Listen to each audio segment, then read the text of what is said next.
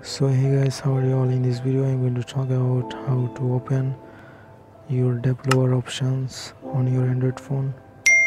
Any android phone how to do that follow these tips. So open this setting options. You can see here open and you can see here about devices. Click here these options here here you see this. Open the software info. And here you see this uh, build number. Click here. Double click. 5 and you see this. Back options click here.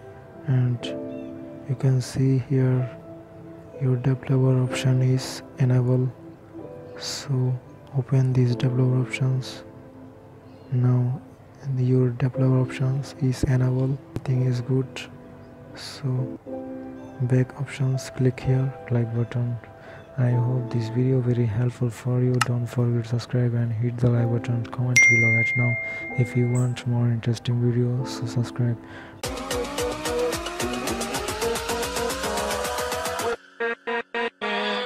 with